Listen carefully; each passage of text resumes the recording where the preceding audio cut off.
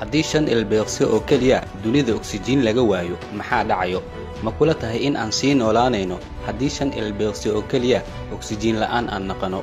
Muuqaalkani waxa uu kuu sawirayaa nimcada ilaahay nolosheenna ee uu ku hareereeyey waxaa suuragal ah inaad isweydiinayso shan ilbeeqsi oo keliya in wax badan aysan isbeddelin ee la noolaan karo. Laakiin ma isweydiisay dunida maxaa ka dhacayo? Ma dunidii aad taqaana ayay naqan doontaa? Ama mid kale si muuqaalkani aan u bilowno laagsaar haddii aad ku cusub tahayna beejkani falow dheh wax badan ayaa ku dhaafay. Mahadsanid waxba istanasa isgelinin oksijiintaada tooska ah qaado. Waxaan kuu sheegi doono waa qiyaasta cilmiga ee gacanteena aan ku hayno.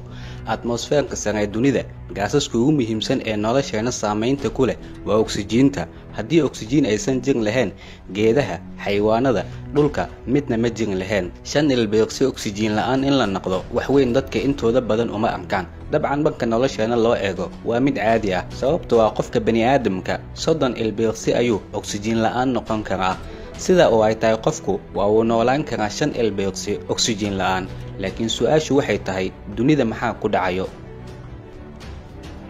haddii shan ilbeeqsi oo keliya oksijiin laga waayo dhulka waxa uu noqon lahaa meel cajiiba oo weligeed aan lagu noolaanin.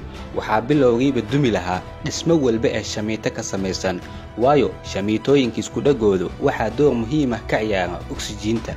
Shamiitadu oksijiin la'aan waa un budo keliya. Waxaa burburi lahaa lakabka sare ee atmosfeerka dunideena ka difaaca waxyaabaha bannaanka uga imaanaya ozon lakabkani waxa uu ka samaysan yahay saddex atom oo oksijiin ah wuxuuna naga celiyaa wax walba ee halis ah ee bannaanka dunida ka imaanaya sida fallaaraha ultarviyoolaha ee qoraxda haddii fallaarahani ultarviyoolaha ay dunidu soo gaari lahaayeen dunidu waa ay kululaan lahayd. Sidoo kalena fallaarahani waxa ay dhib u geysan lahaayeen noolo walbo bani'aadamka dhirta waxyaabaha ilmaaragtada ah. Sidoo kale waxa ay waxyeelayn lahaayeen fallaarahani unugyada jinka. Cudur uu kansar ugu horeeyo ayaa qof walba ku dhici lahaa oksijiinta oo shan sakan keliya la waayo waxa ay la micno tahay in kow iyo labaatan atmosfeerkeenu uu wax isdhimi lahaa. Tanina waxa ay keenaysaa in cadaadiska hawadu isbeddelo cadaadiskani dartiisu dadku waxaa qarxi lahaa dhagahooda maadaama aysan u dulqaadan karin cadaadiska xaddhaafka ah ee hawada. Sidoo kale oksijiin la'aantu wax deb ah oo daarmi kara ma jiraan. Sidaasi darteeda wax matoor ah oo daarmi kara oksijiin la'aanna ma jiraan tani waxay keenaysaa in koronto la'aan ay dhacdo baabuurtuna ay shaqayn waayaan diyaaraduhuna hal mar ay soo wada dhacaan baabuurtuna hal mar ayay wada istaagi lahaayeen. Cirka oo dhan waxa uu noqon lahaa mid mugdi ah.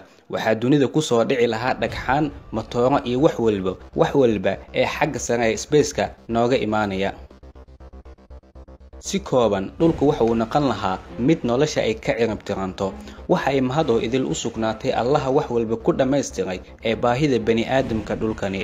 Waxyaabahani aan kuu soo sheegay oo dhan waa waxyaabo xaqiiqa haddii oksijiin la'aan ay dhacdo in yarba. Maadaama wax dhacayo aysan u ekeen hadda oksijiintaada qaado oo allah nimcooyinkiisana ku xamdi